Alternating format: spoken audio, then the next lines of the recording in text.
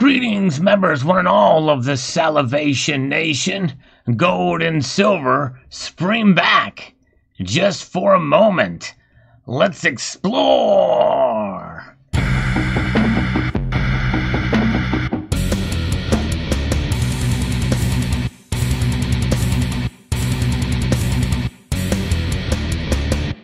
An intriguing day it has been in the precious metal markets. We're looking at the charts right now.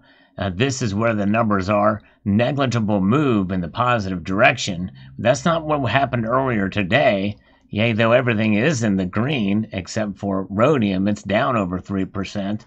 But palladium has really jumped to some new life here with a 6% increase, and platinum uh, almost a 5% increase, 4.51%. But gold and silver are just hanging out here. But what happened here, we can see from this chart that they, they sprung up pretty dramatically here, gold, and then it just kind of uh, fell right back down to kind of where it was earlier um, before today.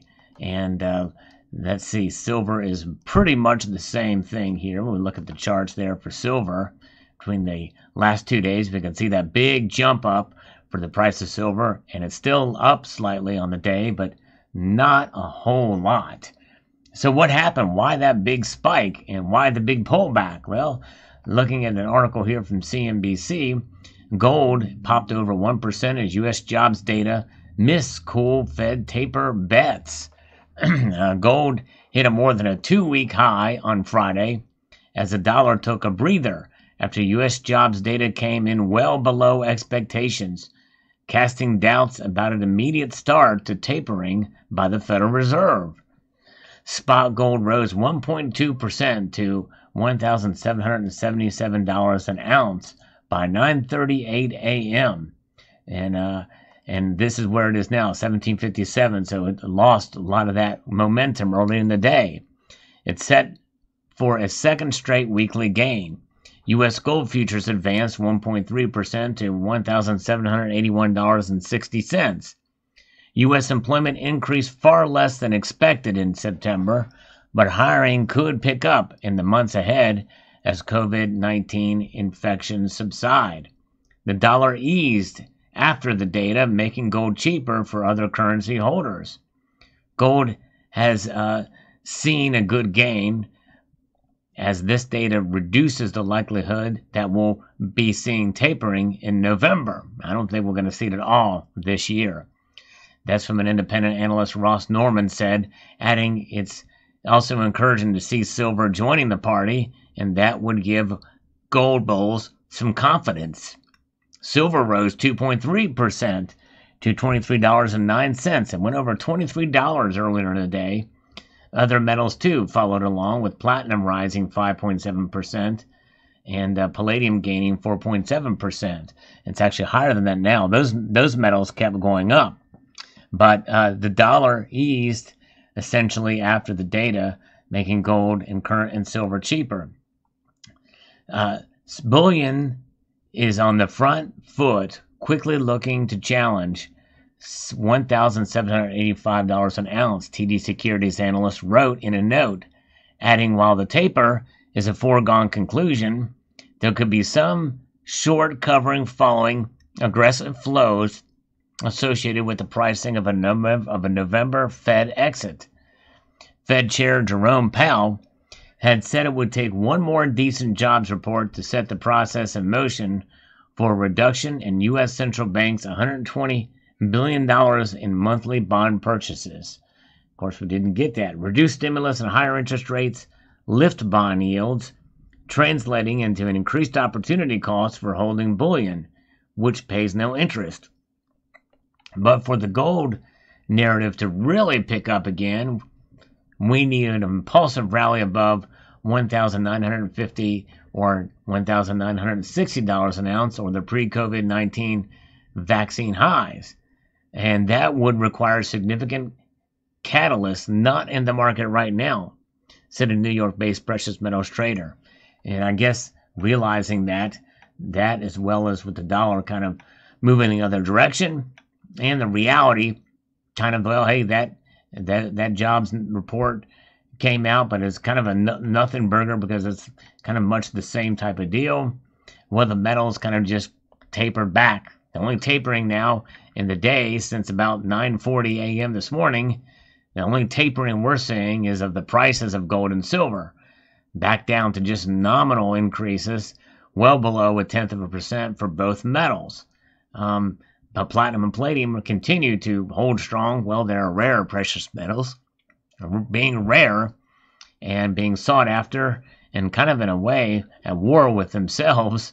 Um, that leads to increases, especially in palladium. Wild to see. But nonetheless, uh, the gold to silver ratio, as an effect, has not moved a whole lot as we imagined.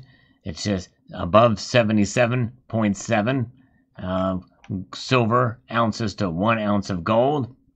And there's where the markets are. But uh, I believe this kind of volatility, this kind of, you know, little spikes here and there and coming to the realization reality, especially with silver being the lack of industrial demand. But I believe the price movements we saw today in silver and gold, but especially silver, is playing more as a monetary metal or hedge. Its price movements. Uh, in other words, it spike up a little bit in price, following gold's spike up in price. And that's just it. That's why silver is so hard to really peg down because it's it's uh, in in one moment it can be tied to gold, but in the next moment, well, it's seen as a commodity by the markets, and so therefore it's traded as a commodity, separating itself from gold in that regard. That's one of the reasons why I have been focusing more on gold over the last uh, three to four years here, and uh, and some of the purchases I've been making. Nonetheless, there it is. Fascinating to see the markets move as they have today. But I believe this may set us up for, again, as, been, as has been predicted, uh, for a continued kind of bear market for a while for gold and silver. Uh, there's some say that you know more reports may be coming out this month that could change the fortunes for uh, gold um, and silver, and we'll see how that plays out.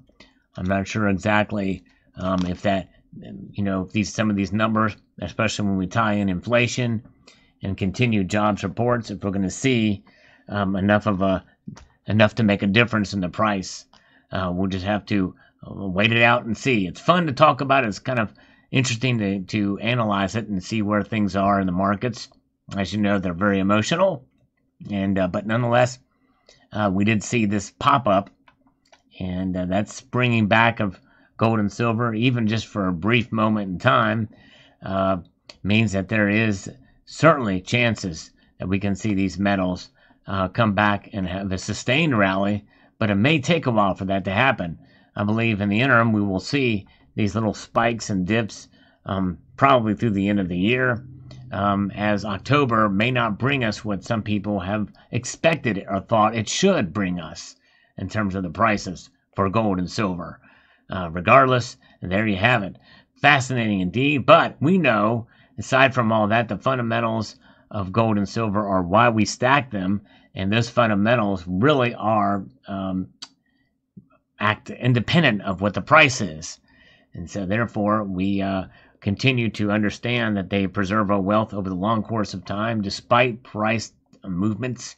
Um, and what I consider gold and silver being like an insurance policy, the premiums rise, the premiums go down.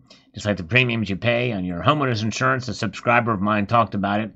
That he had paid, I think, uh, twenty thousand dollars over the course of him owning his home, and uh, never had to use it a single time. But does he regret uh, per, uh, that twenty thousand dollar purchase? No, he's glad he's got it, and uh, he'll never see that money again. But he had the protection for that time. I think that's the same thing with gold and silver. Um, you know, you could spend all that money as long as you have the physical in your hand. Um, then you can use it as a hedge and a protection. And by the way, by some extension, even as an ETF, they can hedge within the markets, within stock market. Um, uh, that you make electronic trades, well, highly liquid. You just cash those out um, as you as you see fit, as long as the uh, infrastructure is there to be able to make trades and sell them well, you can do it. Gold and silver in the physical is the ultimate safe haven and protection because it doesn't rely on a network or third party in order for them to be um, uh, utilized and to protect us. Uh, you do pay a premium for that too, by the way. But when the spot prices are low, that premium tends to go down a little bit. Yes, indeed. All right, there you have it. Uh, there's your news for the day. If you enjoy stories like this, we talk about the news as well. I talk about um, show precious metals, do unboxings, talk about precious metal crimes, talk about found precious metal treasures, uh, throw in a few scam calls here and there, and that's kind of the channel. We have a little bit of fun in the live streams as well, so hope you will stick around. Hope you'll watch some of the older videos of a variety of different topics. This is probably the most diverse precious metals channel out there. Dabble in the world of coin collecting, modern and classic, and alike. I've done a lot of different things, save for a few things like coin roll hunting and the like. Or, but nonetheless, we do talk about a lot here on this channel. So, a multitude of gratitude to you all for taking the time to watch, and to encourage you to please rate, share, comment, and subscribe.